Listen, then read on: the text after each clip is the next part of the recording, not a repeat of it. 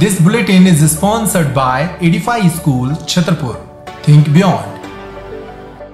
बमीठा थाना अंतर्गत सिंचाई कॉलोनी के पास बासठ लीटर अवैध शराब के साथ बमीठा पुलिस ने एक युवक को गिरफ़्तार किया है जानकारी के मुताबिक बीती शाम समय खरियानी निवासी रामदास अहिरवार लंबे समय से अवैध कच्ची शराब का धंधा कर रहा था जिसे बमीठा पुलिस ने मुखबिर की सूचना पर सिंचाई कॉलोनी के पास शराब ले जाते पकड़ लिया आरोपी के पास से बासठ लीटर अवैध कच्ची शराब बरामद की गई है।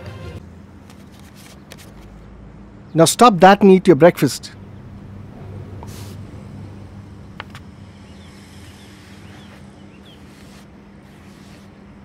अरे अरे।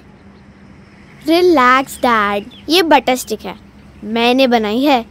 ताकि नाइफ यूज़ ना करना पड़े।